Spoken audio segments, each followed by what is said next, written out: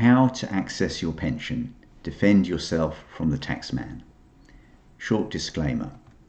The objectives here are to minimize income tax, maximize the tax-free cash we have available to us, minimize the lifetime allowance charge, maximize the utilization of personal allowance, and enjoy life. So it's a lot of things to do at the same time. And in this video, I'm going to explain how it could all work for you.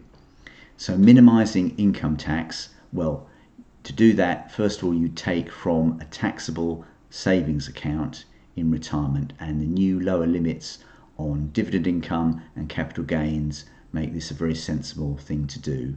And then generally you want to take from an ISA before your SIPP. To maximize the personal allowance, you need to have a plan as to how you will utilize your personal allowance, especially prior to state pension age. Living 100% from an ISA could be leaving money on the table. And if you don't have any other income and you are eligible to take from your SIPP, you can just use your SIPP to fill up your annual allowance. Don't recycle from a pension to an ISA. So it's not the same thing as moving a lasagna from a freezer to a fridge where it's the same lasagna. The problem is that the tax man is possibly going to take 20%, maybe less, maybe more from the lasagna and so no wonder he's so fat. So if this is your SIPP, this is your ISA, this is your cash, then what he's going to do is say, well, is that going to attract any income tax when you take down from the SIPP? And if it does, then you've got a permanent loss of wealth in terms of that tax. So trying to reduce your SIPP balance so that you stay under the lifetime allowance by maybe taking from it early can lead to higher taxes being paid earlier and a permanent loss of wealth that will compound over time. So if your investments are growing by more than inflation, then paying tax early might not be beneficial. Maximizing your tax-free cash. So the options you have here are you can take your tax-free cash up front, you can take the tax-free portion only when you take income from your pension, and that's called UFPLS. Or you can phase how you take the tax-free cash according to what your needs are, and that's called Flexible Access Drawdown or FAD. And if your pension is not in drawdown, if you take the tax-free cash only, so you can still make meaningful contributions to, to top up your pension.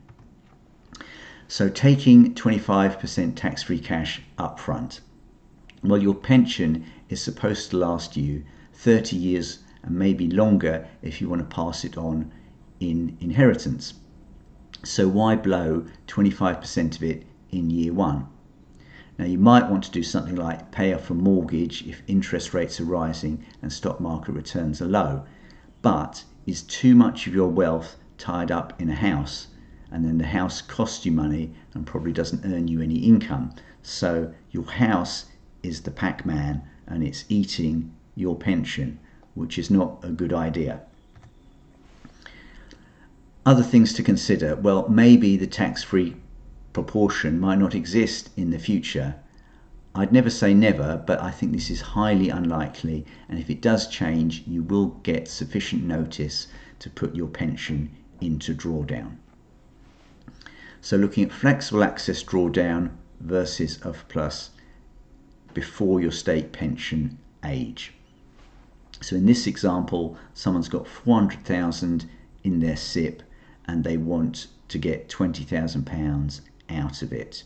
If they use flexible access drawdown, they take 80,000 pounds out. 60,000 gets moved into a drawdown account. 20,000 is a tax-free amount that goes straight to them and because they've not actually touched the drawdown account, then they've still got a £40,000 annual allowance. If they use UFPLS, then they're going to end up paying income tax of £572. So they need to take out 20,572.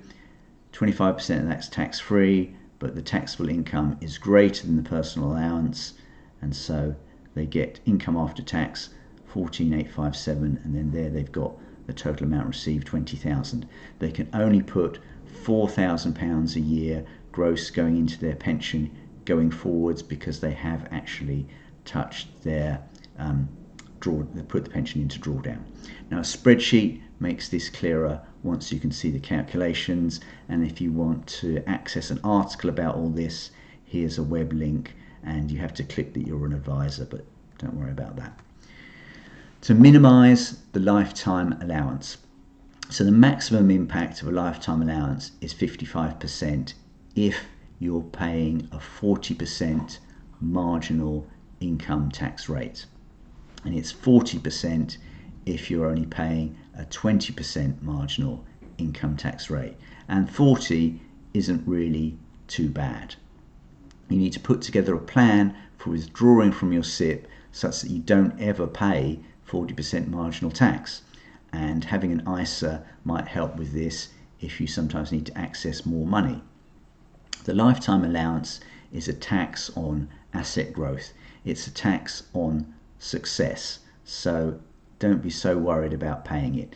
If you're in your 30s and want to retire before the age you're eligible for your SIPP, you're going to need to have money somewhere else, ideally in an ISA. But you don't want to be putting money into an ISA if you're a 40% marginal taxpayer and you've not utilized your full SIPP allowance each year. So you need to start planning early. And I'll do a video on this, and when it's done, I'll put it in the link here. But you really need to look at how you're accumulating your wealth and sequence it correctly.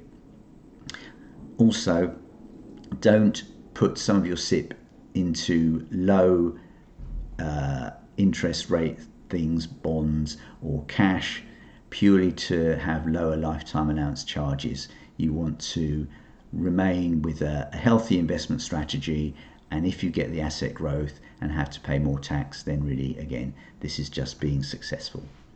So it sounds like for all this, I need a spreadsheet. Well, yes, I would agree. I'll put a link to my video that explains my spreadsheet here and uh, in the description I'll put some links as to how you can get hold of it.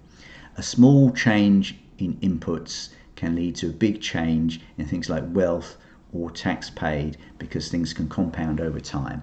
And with a spreadsheet, you can look under the bonnet and see what's really going on. And with a black box website, you just can't do this. Also with a spreadsheet, you permanently own the data and the costs can mount up over time with other solutions where you don't own the data. Here's some output from my spreadsheet. So this is looking at sources of income in retirement, how you're taking from an ISA, how the SIPP is uh, filling up as well, um, and then the state pension kicking into and then the wealth by type over time, what you've got in taxed investments, ISA and SIPP. Now, it's a little known fact that Snoop Dogg is a tax free rapper and inventor of the ISA. So we've got Snoop Dogg, who raps and smokes weed, and Ken Dodd, who paid no tax on his cash in the attic. So when you think of a tax free rapper, I always think of these guys and just makes me smile a little bit. So avoid reading the news. Most are clickbait articles and speculation, and trying to guess changes to legislation is probably not a good idea. Your initial withdrawals of taxable cash uh, will be taxed as though you're going to take the same amount every month for the next 12 months. So it's assuming you're making 12 withdrawals, not one. That's okay if that's exactly what you're doing, but if you're trying to live off of 12 months of expenditure in one withdrawal, you could end up being overtaxed and then you've got to fill in some forms to claim it back. So be very careful how you're actually accessing your SIPP. Try and take regular monthly drawdowns from your SIPP. There's an order of drawdown in retirement. So first of all, state pension, if you're eligible, Then, in most cases, defined benefit pension, if you've got one and if you're eligible for it, uh, so these two are contractual. Then you've got buy to let, side hustle, additional income, so that will be taxable and that's just kind of already there. Then you can use your SIPP if you've got any remaining personal allowance after that, so up to the so you pay no income tax. Then you can use a general savings account because it's subject to dividend and capital gains tax. Then you use an ISA, then SIPP up to your 20% tax band, and then last SIPP up to your 40% income tax band. So if you are paying 40% tax on your SIPP, then you need to think carefully about what's going on with all your different sources of wealth. So, in summary, and these are just general rules, put together a plan to take from your SIPP in a slow and steady manner unless you have specific dreams that you want to fulfill, and in which case, screw the tax, go for the dreams. Once your personal allowance is utilised, only take from your pension if you intend to spend the money. Otherwise, you're paying tax when potentially you don't need to. For the lifetime allowance, you're most likely to fail the age 75 te- test if you do actually pay anything. Um, but as this is a long way in the future for a lot of people, trying to lower this tax charge may result in a suboptimal outcome for your overall wealth because you're trying to second guess something that's potentially going to come in 20, 30 years' time. Observe the order of drawdown that I've explained and consider using flexible access drawdown, particularly in the early years of retirement. So I hope you've liked the video. Subscribe to the channel, let me know any comments you've got, and I'll see you next week.